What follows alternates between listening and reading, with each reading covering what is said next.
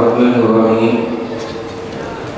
الحمد لله رب العالمين والصلاة والسلام على أشرف الأنبياء والمرسلين. سيدنا وحبيبنا وسيدنا ومولانا محمد وعلى آله وصحبه أجمعين. أما بعد قال الله تعالى في كتابه الكريم وهو أصدق القائلين Rabbi shrah li sadri wa yassir li amri wa hlul 'uqdatam min lisani yafqahu qawli. Rabbi yassir wa la tu'sir Rabbi tamim bil khair subhanaka la ilma lana illa ma 'allamtana innaka antal alimul hakim wa la hawla wa la quwwata illa billahil 'aliyyil 'azhim. Kitabul Haji wal Umrah. Hada kitabun fi bayanil haji wal umrah. Inilah kitab di dalam menerangkan tentang haji dan umrah. Kita sama maklum bahwa haji adalah merupakan salah satu di antara rukun Islam yang lima. Rasulullah Shallallahu Alaihi Wasallam bersabda di dalam satu hadis, "Buniyal Islam ala khamsin." Dibangun Islam ini atas lima Syahadati an la ilaha illallah wa anna muhammadar rasulullah wa iqamis salat wa ita'iz zakat wa sawmi ramadan wa hajji baiti man istata'a ilaihi sabila. Atau kama Rasulullah sallallahu alaihi wasallam. Jadi Islam ini dibangun dengan lima yang pertama syahadati alla ilaha illallah wa anna muhammadar rasulullah yaitu mengucapkan dua syahadat. Yang kedua iqamis salat mendirikan salat. Yang ketiga puasa di bulan Ramadan, menunaikan zakat dan haji. Haji di dalamnya ada umrah. Setiap orang yang mengerjakan haji pasti mengerjakan tergantung nanti polanya saja, caranya saja. Ada yang mengerjakan haji dulu baru umroh, itu yang disebut dengan haji ifrat namanya. Ada yang disebut dengan haji tamatu, yaitu mengerjakan umroh dulu baru haji. Ada yang mengerjakan berbarengan antara haji dan umrahnya itu yang disebut dengan kira. Nah kita di dalam pelaksanaan amalan ibadah haji ini boleh memilih salah satu di antara tiga. Boleh kita mengerjakan haji tamatu, yaitu mengerjakan umrah dulu baru mengerjakan haji. Yang kedua, boleh juga kita mengerjakan dengan cara haji ifrat, yaitu haji dulu baru umrah. Atau kita mengerjakan barengan keduanya, yaitu umrah dan haji dilaksanakan dengan cara yang berbarengan. Itu yang disebut dengan kira. Kita boleh salah satu di antara itu. Nah di dalam kitab ini akan dibahas ya tentang haji dan umrah. Siapa itu yang bisa melaksanakan ibadah haji dan bagaimana daripada pelaksanaan ibadah haji akan dibahas di tempat ini. Mudah-mudahan dengan belajar Allah mudahkan kita bisa berangkat haji. Kitabul Haji wal Umrah la yajibu kullu minhuma bi asli sal'i illa marratan fil umri. La yajibu tidaklah wajib kullu minhuma setiap dari keduanya itu itu tidaklah wajib masing-masing di antara keduanya yaitu haji dan umrah bin asli dengan dasar hukum syarat illa marratan fil umri kecuali hanya satu kali dalam seumur hidup. Jadi hukumnya haji itu wajib tapi wajibnya itu hanya maratan fil umri hanya sekali dalam seumur hidup dua-duanya baik haji maupun umrah haji dia wajibnya sekali dalam seumur hidup. Begitu juga umrah wajib sekali dalam seumur hidup. Dia beda dengan sholat beda dengan puasa beda dengan zakat. Karena ibadah haji dan ibadah umrah ini punya karakter dan keistimewaan yang berbeda sekali dalam seumur hidup. Tapi walaupun hanya sekali dalam seumur hidup ini Allah subhanahu wa ta'ala berdasarkan lisan dari Nabi kita Muhammad sallallahu alaihi wasallam itu walaupun sekali seumur hidup tapi balasannya sangat luar biasa.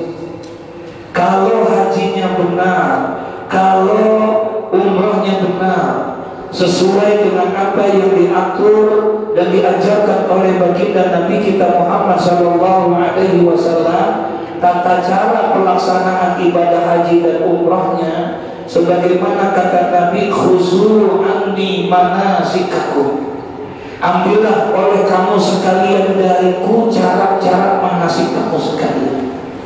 Kita berpegang dengan ajaran Nabi, kita berpegang dengan bagaimana cara Nabi berhaji dan berumrah. Kalau benar haji kita, kalau benar umrah kita, kata Nabi sallallahu alaihi wasallam, al-hajju mabrur laisa lahu jazaa'un ila jannah. Tidak ada balasannya bagi orang yang hajinya mabrur, yakni hajinya benar kecuali adalah surganya Allah Subhanahu wa taala. Sekali memang di dalam seumur hidup, tapi kalau dia benar, kalau dia sesuai dengan aturan yang diajarkan, maka dia akan mendapatkan surganya Allah Subhanahu wa taala. Makanya oleh karena itu buat orang-orang yang mendapatkan panggilan untuk melaksanakan ibadah haji dan juga melaksanakan panggilan ibadah umroh jangan disia-siakan harus disempurnakan sesempurna-sempurnanya Allah berfirman dalam Al-Quran Atimul hajja wal umrata dan sempurnakanlah ibadah hajimu sempurnakanlah ibadah umrahmu karena Allah. Bohong orang bisa sempurna ibadah hajinya kalau dia tidak belajar manasik bohong. Bohong orang bisa sempurna ibadah umrahnya kalau dia tidak belajar dengan tata cara pelaksanaan ibadah umrah. Bohong harus belajar. Makanya wajib menuntut ilmu. Buat orang yang mau haji buat orang yang mau umrah kalau dia sudah terdaftar kalau dia sudah pengen berangkat wajib belajar manasik tapi kalau buat orang yang belum belum berangkat menunaikan ibadah haji, ya belum mau berangkat menunaikan ibadah umrah, belajarnya sunnah saja, tidak ada kewajiban. Ya, jadi wajibnya kapan jatah wajibnya itu kalau dia mau belajar, kalau dia mau berangkat, itu wajib dia supaya sempurna ibadahnya. Sama kayak orang mau sholat, Jatuhnya untuk ilmu belajar tentang ilmu sholat kapan? Ketika dia mau melaksanakan? Sholat. Kalau dia mau melaksanakan sholat, jadi wajib untuk dia belajar ilmu sholat supaya sempurna ibadah sholat. Ya supaya sempurna ibadah sholat. Jatuhnya, makanya disebutnya ilmu hal. Ada hadis talabul ilmi faridatun ala kulli muslimin wa muslimatin. Menuntut ilmu itu adalah merupakan kefarduan yang sangat buat orang Islam laki-laki maupun yang perempuan. Pertanyaannya apakah semua ilmu itu wajib dipelajari? Tidak. Yang wajib dipelajari itu adalah hanya ilmu hal. Kalau dalam kitab ta'lim wa ta'lim itu ilmu hal maksudnya ay al ilmu usuluddin, ilmu tauhid, wal ilmu fikih, wal ilmu akhlak, yakni ilmu tasawuf. Tiga unsur ini yang wajib. Insya Allah maaf maaf ucap ini. Kita nggak dosa kalau kita nggak belajar bahasa Inggris. Kita nggak dosa kalau kita nggak belajar ilmu komputer teknologi. Kita nggak dosa kalau kita nggak belajar tentang ilmu matematika, fisika dan lain sebagainya. Tapi menurut ahlu sunnah wal jamaah tiga unsur ini wajib pelajari. Ilmu tauhid, ilmu fikih dan ilmu tasawuf harus kita pelajari. Nah salah satu di antaranya itu yaitu ilmu tentang haji dan umrah. Belajar kita. Lagi sekali hanya seumur hidup. Misalnya ada jamaah tahun kemarin berangkat haji. Kalau tahun ini dia berangkat haji, tahun kemarin dia berangkat haji di Indonesia ini, dia belum bisa lagi mendaftarkan diri buat berangkat haji Misalnya dia punya duit. Kemarin dia udah berangkat haji, dia pengen berangkat lagi. Nah kemudian dia daftar bank, nggak bisa. Tertutup secara sistem komputer nggak akan bisa keluar. Daftarnya bisa terbuka nanti. Pada saat 10 tahunnya akan datang. Jadi kalau dia mau daftar lagi nanti 10 tahunnya akan datang. Kalau dia mau daftar lagi nanti 10 tahunnya akan datang baru. Nanti tahu berarti tahun berapa? 2029 baru dia daftar. Itu daftarnya doang kan lagi 20 tahun jadi berapa itu buat orang yang berangkat haji kemarin. Makanya oleh karena itu harus benar-benar jaga ibadah. Karena susahnya orang melaksanakan ibadah haji. Susah orang berangkat ibadah umroh. Umroh aja sekarang udah gampang gitu mau berangkat umroh. Saudi sekarang punya aturan baru baru kemarin dikeluarin persyaratan. Buat orang yang mau berangkat ke sana kalau kemarin-kemarin kena ada yang namanya pajak progresif kena bayar 2000 real satu. 2000 real kali 4000 jadi berapa? 8 jutaan untuk kita bayar buat untuk mendapatkan visa. Kenapa pemerintah Saudi melakukan hal yang seperti ini? Karena pemerintah Saudi, maaf maaf nih, secara ekonomi sedang mengalami ujian. Duitnya banyak dipakai buat perang, sehingga akhirnya secara ekonomi turun. Minyak sudah mulai rada-rada kering, kering banget sih belum, baru rada-rada sudah rada-rada kering. Devisa yang paling tinggi itu hanya haji dan umrah.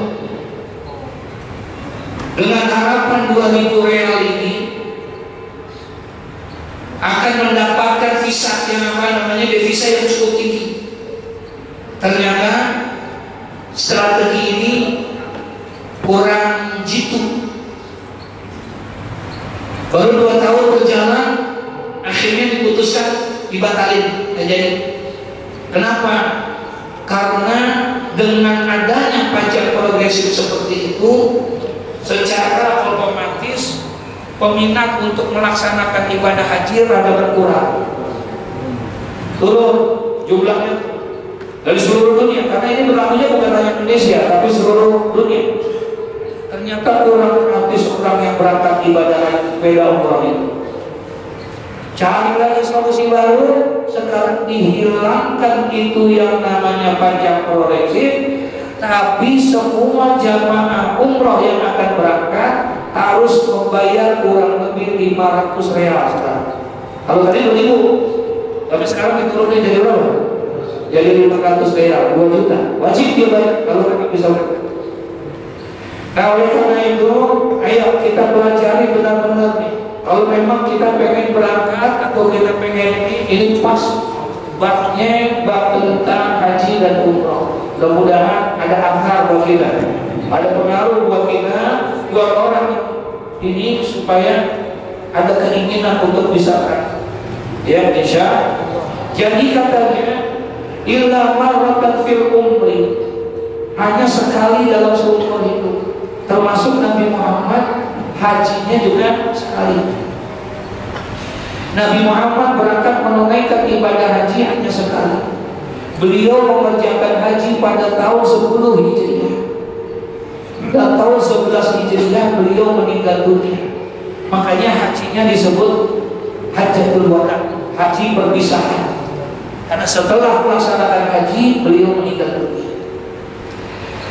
Hatta lawir kadda sehingga keluar murtad seseorang Ba'da fa'lihima sesudah mengerjakan keduanya. Ada orang mengerjakan haji, mengerjakan umroh. Kemudian setelah dia mengerjakan haji dan umroh, murtad. Bisa begitu kan? Bisa? Bisa. Kata siapa yang tidak? Makanya kita nggak boleh nggak boleh kita mengagumi amalan daripada amalan seseorang. Karena kita tidak tahu bagaimana akhir daripada amalan orang itu nanti di akhir. Nggak boleh kita mengatakan orang itu adalah ahli surga.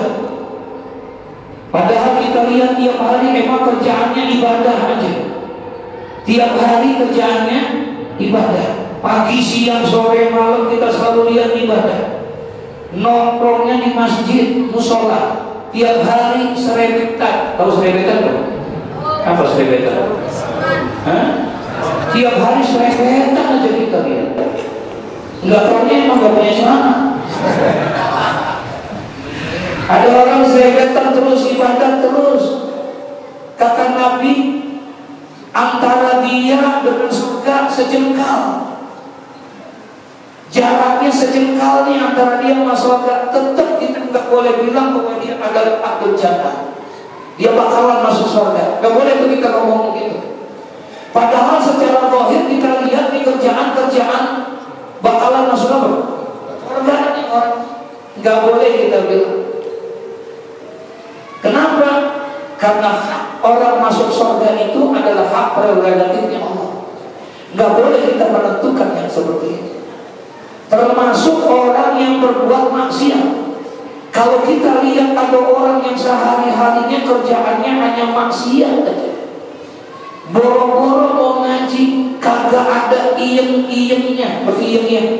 Enggak ada iyeng-iyengnya, mau ke masjid, mau ke musola, mau ngaji, enggak ada. Tiap hari maksiat, sampai akhirnya kita berpikir, ya, ini orang si bakalan masuk apa? Neraka dan emang kerjaannya. Nggak boleh kata Nabi Muhammad. Walaupun antar dia dengan neraka sejengkal lagi jalannya tetap nggak boleh. Karena yang menentukan itu adalah Allah. Makanya dulu ada kisah Barsisa betul ya? Diceritakan dalam kitab Duratul Nasihin ada seorang ulama besar namanya Barsisa ribuan muridnya ibadahnya luar biasa dikagumi oleh penduduk langit. Ahlus sama bangga dengan ibadahnya si Barsisa iblis bencinya luar biasa sama dia. Benci gara dia nggak bisa mengganggu penduduk di sekitarnya. Sebab semuanya ngikut apa kata Barsisa penduduk langit para malaikat bangga Sampai-sampai malaikat itu berkata di antara para malaikat luar biasa itu hamba Allah bersisa pasti akan mendapatkan surga balasan Allah. Allah ingat marah diomelin itu malaikat sama Allah. Apa kata Allah? Tidak ada yang bisa menentukan akhir dan setiap makhluk kecuali aku kata. Tidak boleh dia menentukan. Itu malaikat bilang dia akan masuk surga. Pasti itu masuk surga. Tidak boleh mau. Iblis kan Oh kalau begitu berarti masih ada kemungkinan nih saya mengganggu dia. Menggoda dia. Akhirnya dia minta izin kepada Allah untuk mengganggu Barsisa. Diizinkan. Kesempatan iblis untuk mengganggu si Barsisa. Maka berubahlah wujud Untuk mengganggunya bagaimana caranya itu. Allah suratul insan. Ubah dia bentuknya menjadi bentuk apa? Manusia. Iblis laknatullah alaih. Ya. Dia berubah menjadi manusia. Kemudian dengan wujudnya. Masya Allah luar biasa. Ampangnya. Pakai gamis, pakai jubah, pakai ini tongkat. Jalannya kayak orang soleh. Jalan menuju rumahnya pesantrennya si Barsisa. Setelah sampai di sana, kemudian ditanya sama satunya, dari mana Pak? Ke mana Pak? Saya mau ketemu Tuan Guru Barsisa. Saya dari kampung desa yang sangat jauh, saya ingin berjumpa saya ingin belajar ilmu sama beliau. Kata siapa? Kata siapa? Akhirnya dibawalah kepada Tuan Guru Barsisa. Sesampai Tuan Guru Barsisa, Barsisa tanya dari mana? Jauh saya dari kampung ini. Nama Tuan Guru Masmur di kampung kami. Dibangga-banggakan ilmu Tuan Guru, ketakwaan Tuan Guru, ibadah Tuan Guru dikenal di kampung. Makanya saya jalan melewati beberapa desa berkilo-kilometer menyeberangi sungai dan lautan hanya sekedar ingin belajar. Saya datang ke sini pengen jadi murid Tuhan. Diterima oleh setan sisa. Ngaji dan dia dikasih ke pesantren, kemudian ke kamar, kemudian dia ngaji seperti ini. Ternyata jadi perhatian semua santri. Karena cara ibadahnya dia berbeda dengan ibadah yang lain. Ketika lagi waktu makan, semua makan istirahat santri-santri, dia enggak. Zikir, nangis, Orang pada minum dia enggak nangis. Waktu lagi istirahat tidur, orang pada tidur dia kagak. Ngapain? Nih, tengil rambutnya. Iblis nih, orang begitu kagum dengan ibadahnya dia. Siapa yang gak kagum? Sehari, dua hari, tiga hari, jadilah pembicaraan yang sangat di apa namanya di masa di pesantren itu tuh ada santri baru luar biasa tuh orang tua ibadah begini begini begini nangis saja kerjaannya sampai kepada Tuhan Barsisa dipanggil oleh Tuhan Guru Barsisa akhirnya Barsisa tanya dari mana kamu kok ibadahnya bisa begitu diperhati Pak Barsisa ternyata benar eh Barsisa bertanya boleh ya kamu kok bisa ibadah seperti itu Apakah saya bisa seperti Anda? Saya pengen belajar sama Anda. Kerjaannya nangis. Gak boleh dong Allah nangis. Oh, dengar rasa nangis. Sama deh, beda tipis sama kita.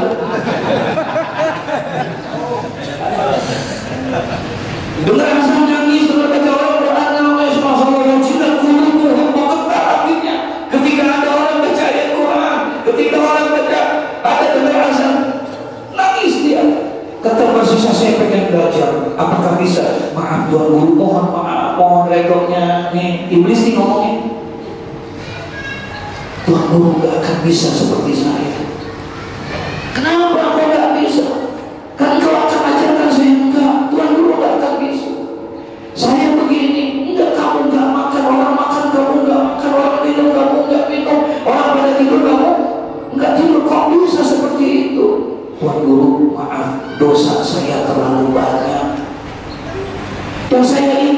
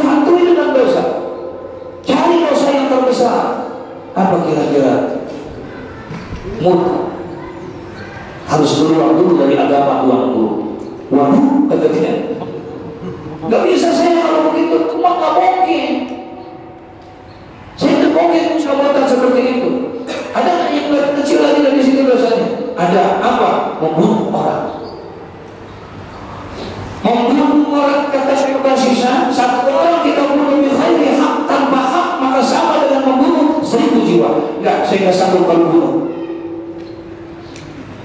Ada lagi yang? Ada apa? Zina. Enggak, enggak, enggak. Saya nggak mau. Ada lagi paling tinggal satu ini apa minum khamar itu saja paling yang paling selain daripada itu nggak ada kalau dia suka minum khamar ah dipikir sama saya pasti murtad yang mungkin bunuh zina juga aku dah aja nggak apa-apa kata dia Ntar saya minum, mabuk, saya tidur, coba selesai.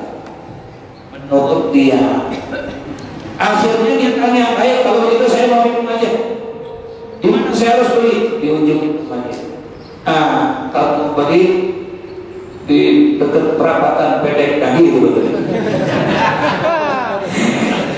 kalau mau beli di sana, di sana tempatnya murah, tempatnya enak, dan yang jual perempuan cantik Akhirnya berangkatlah dia ke sana. Singkat cerita, sampailah ke warung beli minuman. Ketika dia minum satu gelas langsung mabuk. Ketika dia mau hilang akal sehatnya, tumbuh syahwatnya, nafsu birahinya naik nikah. Lihat itu pedagangnya cantik jelita, langsung diperkosa oleh dia. Ketika sedang memperkosa dia, suaminya datang, takut diambil botolnya, dipecahin matanya, ditusuk sama dia. Mati suaminya bingung pada saat itu. Tadinya disuruh bunuh orang bisa disuruh zina? Dia bikin tadinya seperti dia bisa. Padahal ini masih bisa saudara. Ilmunya luar biasa muridnya luar biasa bisa seperti itu makanya kita nggak boleh menentukan hal yang seperti itu ini katanya ada orang pergi haji hatta lawir kata pada fa'lihima. Kemudian ada orang yang murtad setelah melaksanakan ibadah haji dan ibadah umrah. Summa ada ilal Islam. Kemudian balik lagi. Kembali jadi Islam. Paham kan maksudnya? Udah haji, udah haji nih, udah umrah. Kemudian karena satu hal akhirnya goyang keluar agama. Lima tahun kemudian masuk Islam lagi dapat hidayah lagi. Bisa begitu bagaimana hajinya nih yang udah dikerjain? Apakah perlu diulang atau tidak? Karena dia sudah murtad tadi. Nah dibilang lam tajib i'adatuhuma maka tidak wajib untuk mengulang keduanya nggak wajib tuh dia karena murtadnya sesudah hajinya. Kecuali dia belum ya sekali dalam seumur hidup sekalipun pada saat dia sudah berjahit kemudian dia murtad kemudian dia masuk Islam lagi dia tetap tidak perlu mengulang lagi hajinya tidak perlu mengulang lagi. Ya Masya Allah. Mudah-mudahan Allah jaga iman kita. Jangan sampai minta Allahumma jabirna bil afiyati wassalamah wa haqirna bil taqwa wal istiqamah minta istiqamatul iman istiqamatul islam. Minta dalam setiap hari nabi saja saudara. Yang sudah dijamin surga udah segala macam. Dia beliau nabi selalu minta Allahumma inni as'aluka huda wa tuqa wal afafa Masya Allah kita harus wa surutul wujubiha wujubihima wa surutul wujubihima dan ada pun syarat-syarat wajib daripada haji dan umroh. Syarat wajibnya nih, bukan syarat sah. Syarat wajib orang bisa haji, syarat wajib orang bisa umroh. Kalau persyaratan ini ada, maka wajib dia haji, maka dia wajib umroh. Yang pertama al-Islam. Syarat wajib yang pertama Islam. Berarti kalau begitu orang yang di luar Islam tidak wajib. Apakah setiap orang Islam itu wajib melaksanakan ibadah haji? Enggak. Yang kedua ada wal buluhu yaitu balik. Alamatul buluh orang balik balik nih. Ini kita udah balik balik belum? Bulu. Bulu. Yang pertama Islam, yang kedua tandanya itu melek. Tanda orang balik itu tiga. Yang pertama adalah sempurna umurnya 15 tahun. Laki ataupun perempuan kalau ada laki ada perempuan umurnya 15 tahun, maka secara otomatis dia berapa? Sekalipun tuh perempuan belum haid, tapi umurnya 15 tahun, ya. Balik tuh.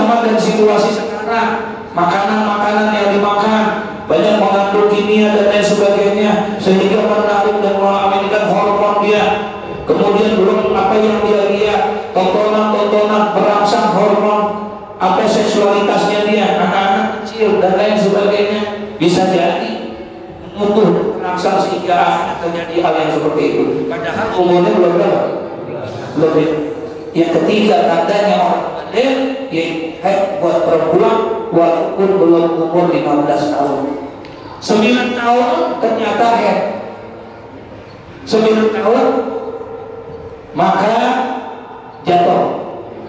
Satu riwayat katanya Sayyidatuna Aisyah headnya umur 9 tahun. Isi Nabi SAW yang ketiga wal aktu berakal. Lahira wal hurriyatu dan yang keempat yaitu merdeka. Merdeka bukan mudah. Itu merdeka bisa juga merdeka ini tidak ada halangan untuk berangkat ke sana Misalnya perang, jadi tidak boleh berangkat ke sana. Nah, bisa jadi. Wal istiqoah dan yang kelima syarat wajibnya itu istiqoah. Ada syarat dimasuk itu. Makanya ayatnya itu walillahi ala nasi hijjal baiti man istata'a. Ada man, ada harful isyarat. Ada man di situ, man istata'a. Tidak semua orang bisa melaksanakan ibadah haji, tapi hanya istata'a adalah orang-orang yang mampu saja.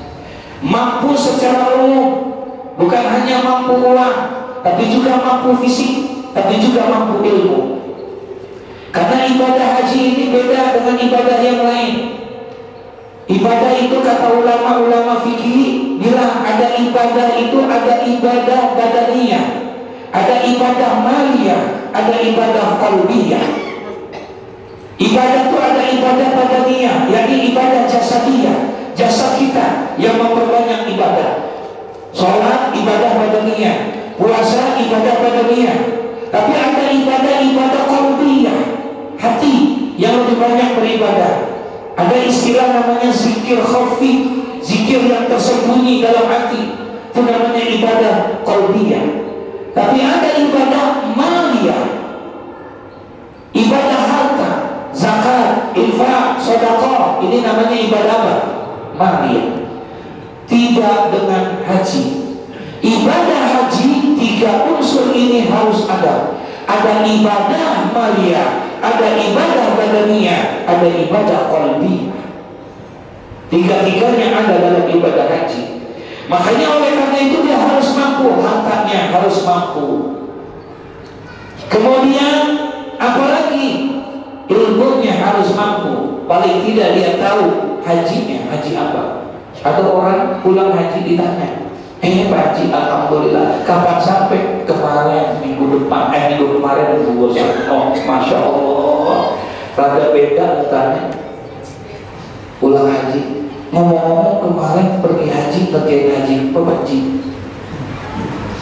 Tahu ya? Loh kok ketemu aja Itu harus segala. Masya Allah. Berarti dia nggak mampu dari sisi ilmu. Berat tuh ibadah haji sekarang. Lagi kemarin itu Masya Allah Masya Allah. Kalau dia salah-salah kemarin Gelombang kedua berkat Bukan gelombang pertama Gelombang kedua. Kalau gelombang pertama aman. Gelombang kedua mulai kemarin tadi Berangkat. Haji Bayangin dari Pondok Gede sudah pakaian ihram. Sampai kepada Jeddah di Jeddah langsung digiring ke bis ke bis berangkat ke Mekah. Begitu polanya Saudi sudah yang tadinya antri sampai 5 jam 6 jam sekarang dibikin satu jam selesai. Satu sisi benar satu jam cepat enak nantinya gak lama. Tapi di sisi lain kesian orang yang gak paham. Pandangan dia niatnya itu adalah mikotnya adalah jeddah adalah jeddah jarang orang yang mau mikot di pesawat.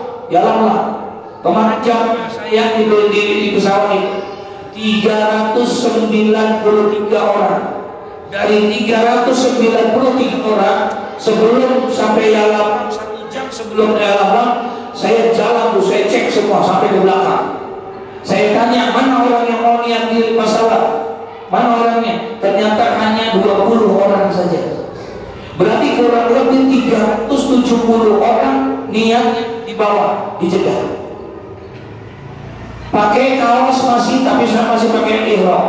Ternyata berbeda apa yang digambarkan oleh mereka. Sampai di kalau yang di atas dia aman. Paham ya? karena sudah apa? sekarang dia sampai. Ternyata nggak bisa lagi untuk berokok mau sembahyang sunnah ihram. Mau ganti pakaian apa tidak? Susah. Akhirnya digiringlah semua jamaah turun dari pesawat naik bis mencatu pak. Arab nggak lihat dari mana apa yayasannya apa KBIH nya apa mandiri Arab nggak lihat itu. Yang penting lu adalah jamaah haji. Dinaikin dah makanya banyak terjadi. Istrinya di bis satu suaminya di bis lima. Terpecah. Semuanya tuh kebanyakan begitu. Yang jadi masalah atau tidak niat pada saat itu. Saya melihat situasi begitu langsung masya Allah ini ada beban. Akhirnya saya naik satu bis, semua bis saya naikin. Semua bis saya naikin. Saya bilang Assalamualaikum warahmatullahi wabarakatuh. Bapak Ibu tolong ikutin saya. Niat umrah kita di situ. Udah selesai pindah ke bis dua. Begitu seterusnya dan seterusnya. Sampai di Mekah barulah mereka terasa untung dikasih tahu niat. Coba kalau dia nggak niat, sampai di Mekah dia belum niat maka dia akan kena tarkul Berarti dia tidak niat pada saat dia sampai di situ. Kena denda satu ekor kambing dia harus bayar. Ternyata pernah terjadi yang kayak begitu. Setelah saya sampai di hotel, dua hari kemudian ada rombongan baru sampai. Ada rombongan baru sampai dari Lampung. Saya heran, lah kok nih orang baru sampai pakai pakaian tapi pakai kaos. Dalamannya masih pakai apa? Masih pakai kaos. Saya harus dosa. Oh, berarti dia udah selesai umrah wajibnya udah pakai baju akhirnya iseng-iseng saya tanya Pak baru sampai iya dari mana? Indonesia. Iya gue juga tahu Indonesia dari mana? Dari Lampung katanya. Oh dari Madinah Pak? Enggak saya ke Madinah. Dari Jakarta langsung ke sini. Oh udah umroh Pak belum belum itu kok masih pakai udah pakai kaos? Nggak keburu. Boro-boro mau buka, niatnya simpel sana. Tuh. Ternyata ada beberapa orang banyak daripada anggota lampung itu yang tidak niat dijedah. Siapa yang bakal menjawab ini? Umrahnya umrah wajib. Kalau dia terjadi niatnya niat haji, ifrat, berarti haji niatnya. Rusak tuh. Akhirnya saya panggil ketua kloter, saya panggil pembimbing ibadah. Saya sampaikan itu semua. Tolong sampaikan. Habis itu, oh, saya nggak berturu di sana. Nggak bisa mengatur jamaah langsung dibawa ke bis masuk berangkat berangkat berangkat. Nah inilah perlunya ilmu jin. Manis tatoan maksud di sini mampu adalah bukan hanya mampu uang, tapi juga harus mampu apa?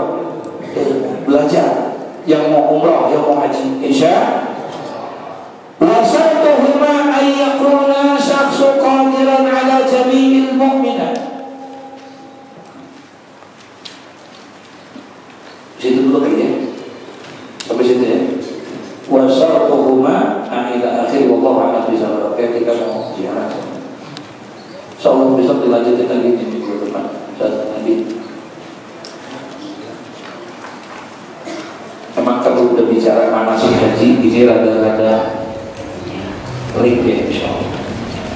insyaallah. Al-Fatihah.